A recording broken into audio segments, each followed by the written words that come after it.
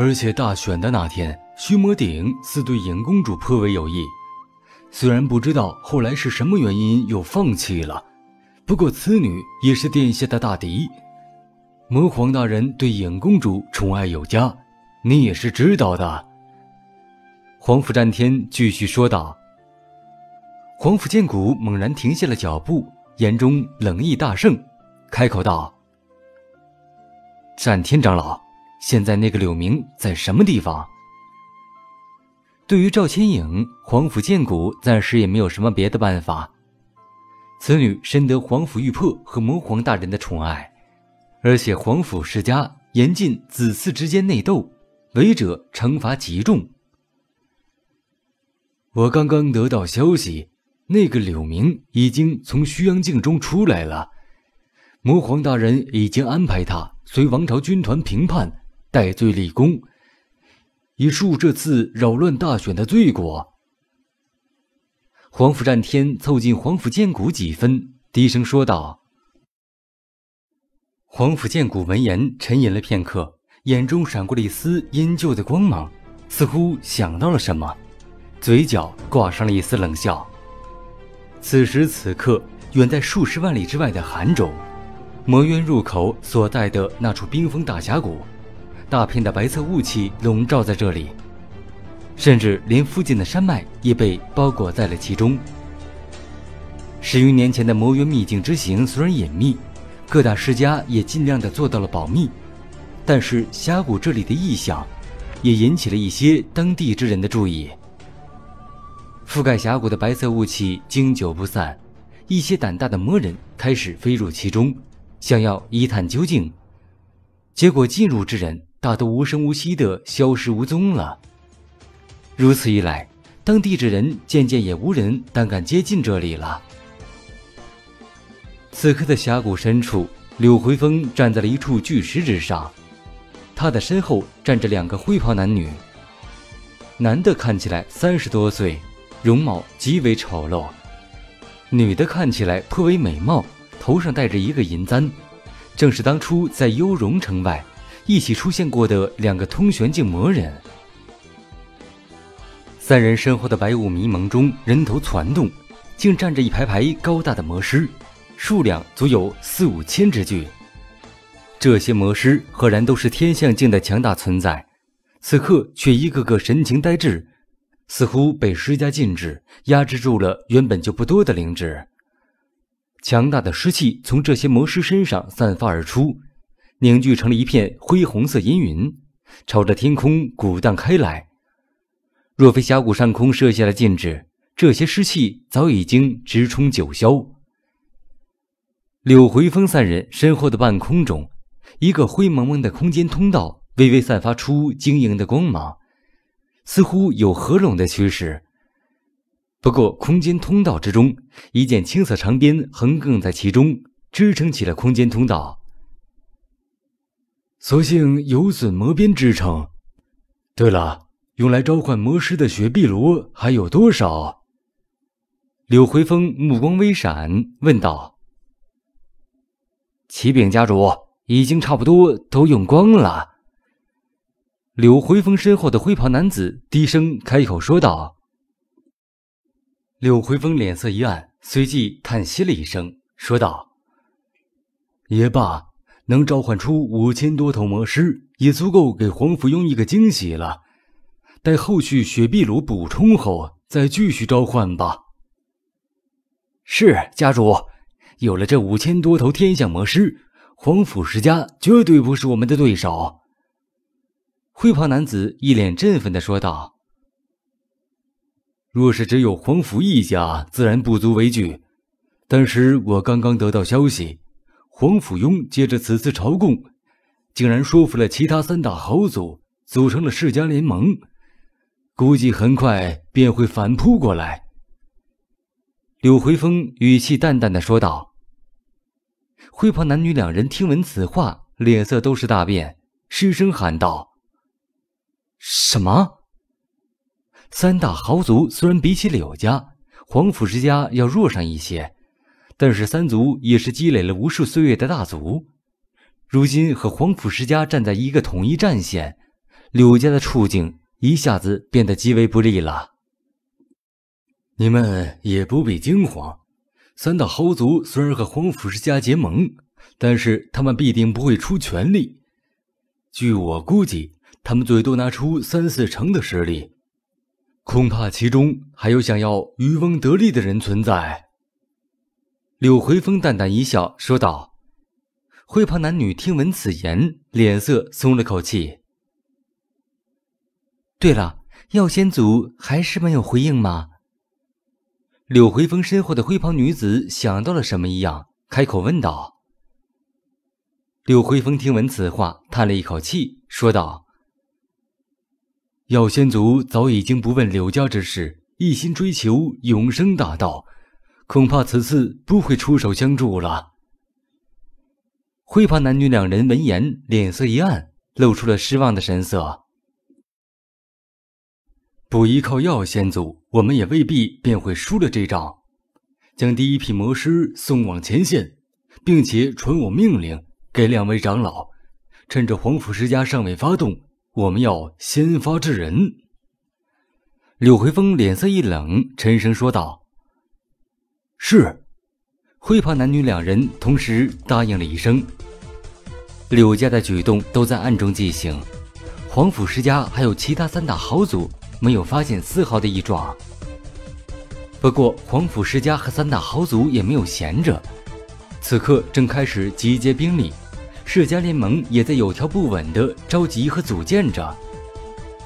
转眼便过了大半个月的时间，中央皇城一处大型坊市的门口，柳明从里面走了出来，脸色微微有些喜色。他这几天身在中央皇朝。也感觉到了皇府世家的军力调动。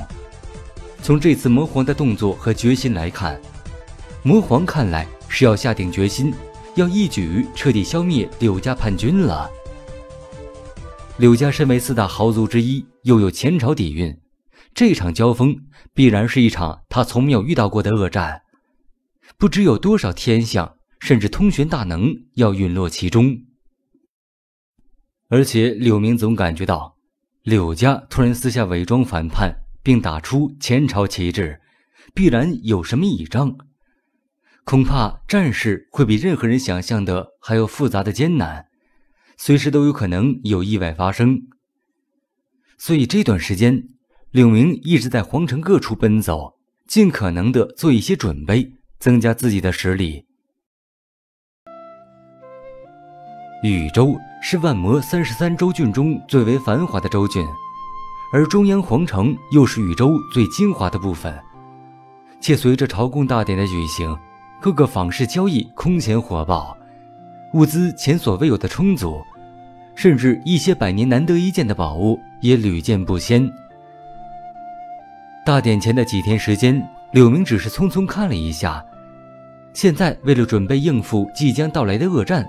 他几乎把所有的时间都投到访视和各种交易会议上，以求多一份自保的机会。这一个月中，他不断出入各种访视和交易会，甚至还参加了五六次地下黑市，魔晶流水一般的花了出去。不过，他的收获也极为的丰富，购买到了一大批珍贵的符箓、丹药。刚刚，他参加了一个拍卖大会。花了三千万魔晶，拍下了三颗远古舍利，此物也是凝练魔躯的上佳材料，加上之前买来的血斧木和其他材料，应该可以让魔天的魔躯更加精炼一些，或许能够达到四分之三的地步。经过虚魔殿一事后，柳明知道自己已经上了摩天的贼船，需要共同面对中央王朝这个庞然大物了。在这种情况下，他也无暇顾及和摩天的勾心斗角，眼下尽可能的增强摩天的实力，也就是增加他自己的存活率。中央皇朝受到大战的影响，街道之上人流也稀少了很多。柳明没有在街道上多逗留，很快的回到了真心园的住处。不过，当他踏入小院的时候，神情一怔。只见小院之内站着一个蒙面白袍女子，赫然正是皇甫玉珀。见过玉破长老。柳明神色很快恢复了平静，拱手打了一声招呼道：“心中一凛。皇甫玉破亲自来找他，看来皇甫世家终于做好了准备，大军即将出发了。”柳家主，我来的目的，想来你已经知道。此次大战，你被安排在了我的血狮军团之内，军团很快便会出发。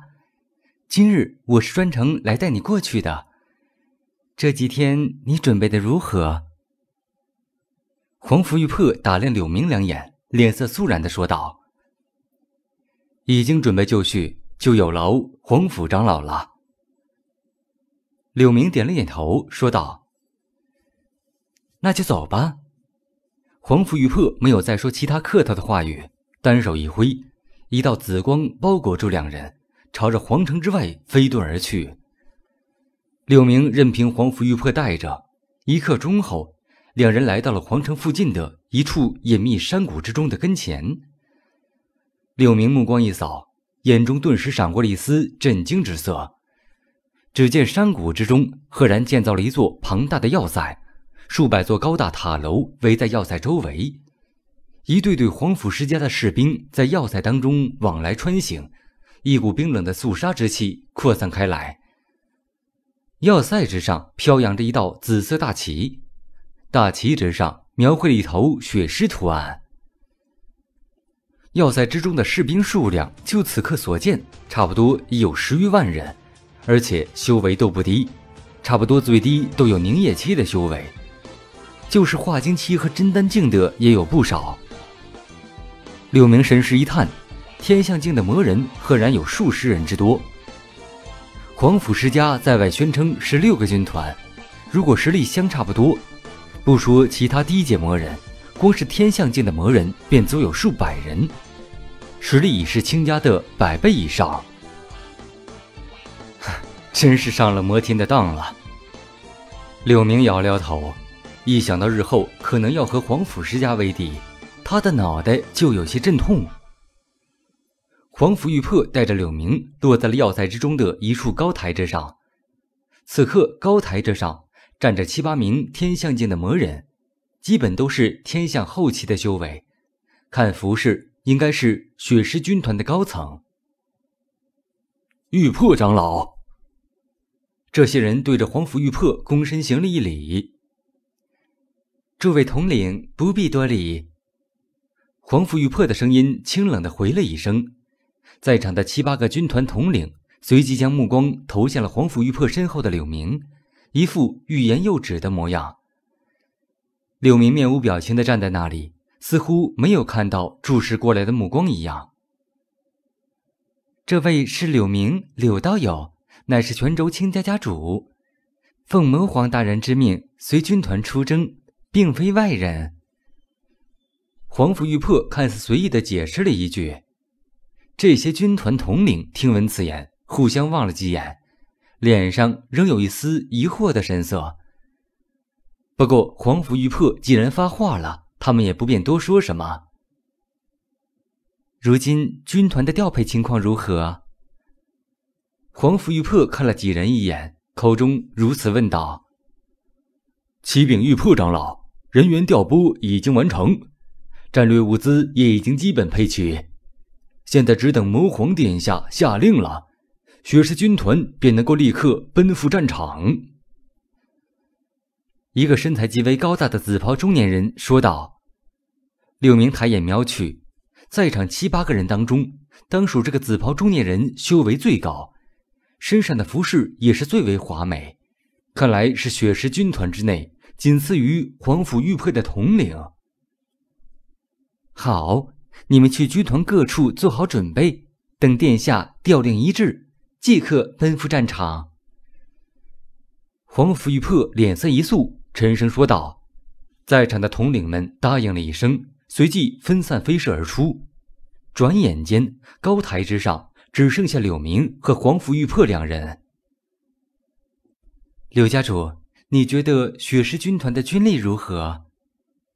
黄甫玉破看着柳明，淡淡一笑，道：“黄甫世家果。”然不愧是万魔剧情，单单一个军团实力也远远超过了我卿家，实在是望尘莫及。